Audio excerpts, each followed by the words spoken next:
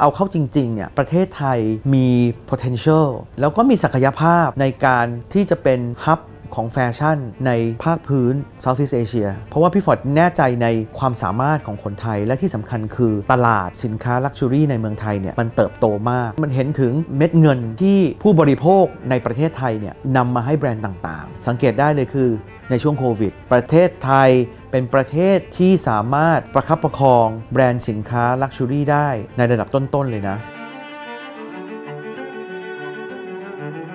รสนิยมของผู้บริโภคในเมืองไทย เป็นสิ่งสำคัญ คนไทยแต่งตัวสวย คนไทยเข้าใจการ mix and match ของเสื้อผ้า การที่อยู่ในธุรกิจแฟชั่นเนี่ยมันมีหลายแขนงมากหนึ่งในนั้นก็คือการที่เราแสดงให้เห็นถึงศักยภาพของตลาดในเมืองไทย ก่อนพอตัวแบรนด์ต่างๆ ยอมรับ แล้วมันสะท้อนให้เห็นถึงเม็ดเงินที่มันเยอะมากเนี่ยมันก็จะตามมาด้วยการเฟ้นหา Friends of the Brand การเลือกมาจัดแฟชั่นโชว์ในประเทศเรา การเลือกมาทำ exhibition ในประเทศเรา สิ่งเหล่านี้เนี่ยมันเริ่มมาจากตลาด luxury ที่มันโตขึ้น แน่นอนอินฟลูเอนเซอร์ต่างประเทศก็มีบทบาทไปทั่วโลก เพราะว่าเขาดังในระดับโลก แต่ว่าในกลุ่มของคนไทยเราเองเนี่ยปุ๊กมองว่าตัวอินฟลูเอนเซอร์เองหรือแม้แต่ editor หรือแม้แต่สื่อเองค่อนข้างมีบทบาทในการสร้างแรงบันดาลใจให้กับลูกค้าหรือว่ากลุ่มคนผู้รักแฟชั่นอยู่แล้วปุ๊กมองว่ามันเป็นทิศทางที่ดีมากๆทั้งในแง่ของทำให้ประเทศเราเนี่ยมัน exist อยู่ในโลกของแฟชั่นมากขึ้น คนไทยสามารถที่จะยืนอยู่ในระดับที่เทียบเท่ากับเซเลบริตี้ต่างประเทศได้อย่างไม่เคอะเขินนะคะ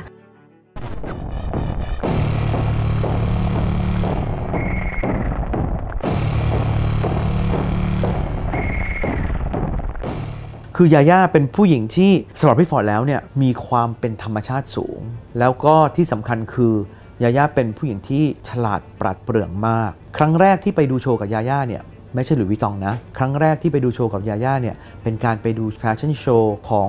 Chanel Haute Couture ที่กรองปาเล่ปารีสประเทศฝรั่งเศส ครั้งนั้นไปเนี่ยยาย่าเองก็ยังเด็ก เป็นครั้งแรกของโวกแล้วเราก็เข้าไปแบบว่าเราเข้าไปดูโชว์เนี่ยด้วยความตื่นเต้นอะ ตื่นเต้นทั้งคู่ แต่การวางตัวของยาย่าเนี่ยความเป็นธรรมชาติของยาย่าเนี่ยมันทำให้วันนั้นเนี่ยเขาเปล่งประกายความสวยคือความสวยแบบ international แต่ยังแฝงด้วยความเป็นคนไทยที่อ่อนน้อมถ่อมตนอยู่ มันก็เลยทำให้นี่แหละคือเสน่ห์ของยาย่าจนก็ได้ในที่สุดแล้วเนี่ยยาย่าก็พบเจอกับนิโคล่าแล้วแน่นอนที่สุดนิโคล่าก็ต้องหลงรัก ใครเจอยาย่าก็ต้องหลงรักยาย่าทุกคนแหละ และในที่สุดแล้วเขาก็กลายเป็น inner circle เขากลายเป็น friend of the brand ไปในที่สุด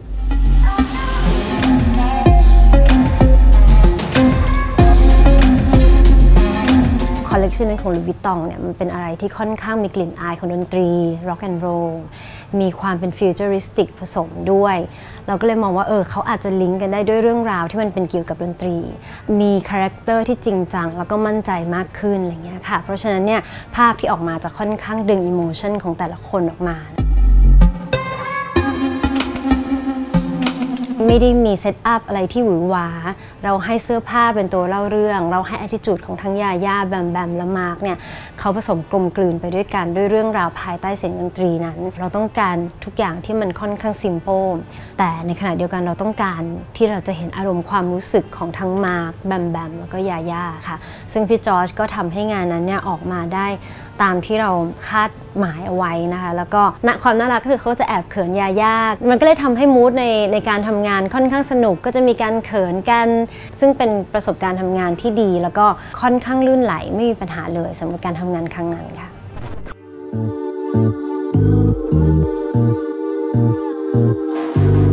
ตอนนี้ต้องบอกเลยว่าช่วงนี้คิมเบอรี่เนี่ยสำหรับพี่ฟอร์ดแล้วเนี่ยเป็นช่วงที่เขาสวยที่สุดผู้หญิงเวลามีอายุเพิ่มขึ้นมานิดนึง แล้วก็ มีความรักจะเป็นช่วงที่เขาจะสวยที่สุดแววตาของคิมเบอรี่ตอนนี้สวยมาก เคยได้ร่วมงานกับคิมเบอรี่หลายครั้ง แล้วทุกๆ ครั้งที่ร่วมงานคิมเบอรี่เนี่ยก็เป็นที่จับตามองของของทุกๆ คน อย่างทุกวันนี้สิ่งที่เห็นชัดเจนมากๆก็คือนางแบบไทยมีภาพที่ชัดเจนมากขึ้น มี community มี character ที่ชัดเจนแล้วก็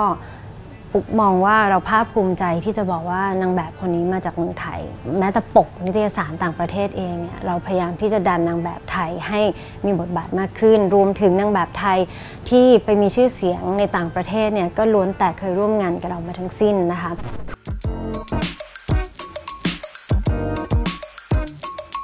ใหม่ดาวิกาเนี่ยต้องบอกเลยว่าเป็นคนที่สวยและเซ็กซี่มาก เขาสามารถที่จะใส่เสื้อผ้าอะไรก็ได้ แล้วทำให้มันออกมาเป็นตัวเขาเองเซ็กซี่แบบไม่โป๊ได้อะพี่ฟอร์ดจำชุดที่เขาใส่ไปที่กุชชี่ได้ ตัวเองไม่ได้ไปนะ ทีมงานไปก็คือพี่สัญชัยกับพี่ปุ๊กส่งรูปมาให้ดูพี่ฟอร์ดยังติดเลยว่า ชุดนี้อาจจะโป๊เกินไป ชุดนี้อาจจะอาจจะโชว์เนื้อหนังมากเกินไป แต่เวลาอยู่บนตัวใหม่ดาวิกาแล้วเนี่ยมันไม่ได้เป็นอย่างที่ฟอร์ดพูดเลย เพราะว่าเขามาด้วยความมั่นใจ ความมั่นใจของใหม่ดาวิกาเวลาสวมชุดสวมเสื้อผ้าเนี่ยเต็มร้อย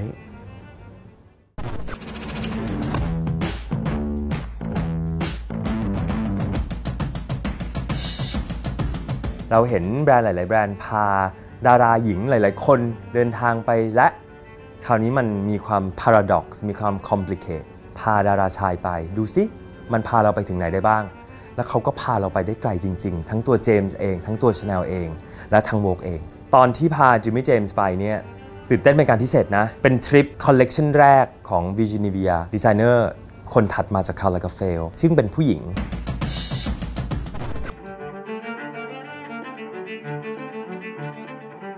อเดซูวาเนี่ยไม่มีใครรู้เลยนะว่าอเดซูวาจริงๆแล้วคือลูกครึ่งไทย คุณแม่ของอเดซูวาเนี่ยเป็นคนไทย คุณพ่อเนี่ยเป็นไนจีเรียน เพราะฉะนั้นเนี่ยคอมบิเนชันนี้เนี่ยพี่ฟอร์ดก็อยากจะ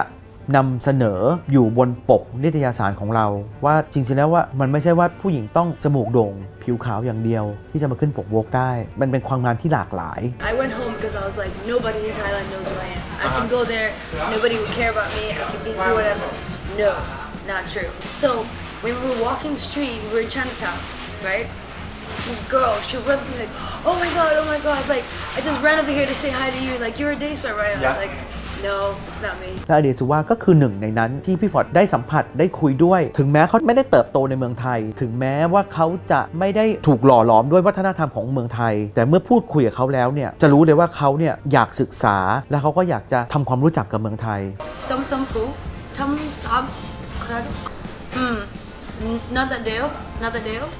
I got it, did I get it? Yeah! ต้องบอกก่อนว่าตอนที่พี่ฟอร์ดเลือกเขาเป็นปก แล้วบอกเขาเนี่ยพอเขาถ่ายปกเสร็จแล้วเนี่ยเขาร้องไห้ แล้วเขาก็พูดมาคำหนึ่งคือทำให้พี่ฟอร์ดรู้สึกตื้นตันแกมตกใจเหมือนกันว่าเขาบอกว่าเนี่ยขอบคุณมากที่เลือกเขาขึ้นปก เพราะว่าเขาไม่เคยคิดเลย ว่าคนที่ตัวดำอย่างเขาเนี่ยจะสามารถขึ้นปกโว้กประเทศไทยแล้วจะมองว่าสวย คือเขาไม่เคยคิดเลยว่า คนไทยจะมองคนผิวคล้ำ สวย นี่คือครั้งแรกที่เขาคิดว่าตัวเขาอะสวยในสายตาของคนไทย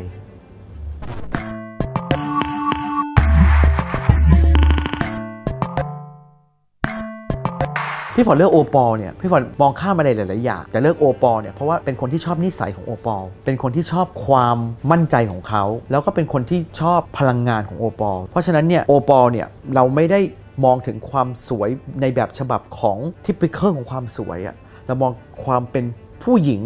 ที่มีครบทั้งหน้าที่ของความเป็นภรรยา หน้าที่ของการเป็นแม่ แล้วก็เป็นนักธุรกิจและที่สำคัญก็คือเป็นคนที่มีเสน่ห์มีเสน่ห์มาก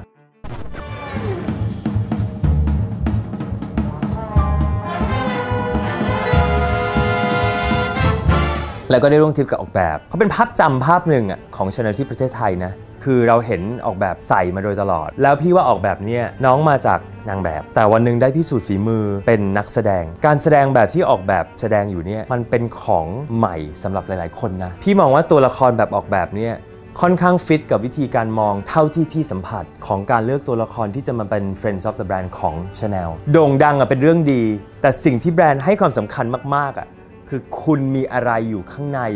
มากกว่าชื่อเสียงของคุณหรือเปล่า ตลาดลักชัวรี่ที่มันโตขึ้น จึงเป็นปัจจัยสำคัญที่โวกประเทศไทยมาเปิด ถึงแม้ว่าจะช้ากว่าเล่มอื่น ๆ แต่มาเปิดในช่วงเวลาที่ตลาดลักชัวรี่ของเมืองไทยสุกงอมเต็มที่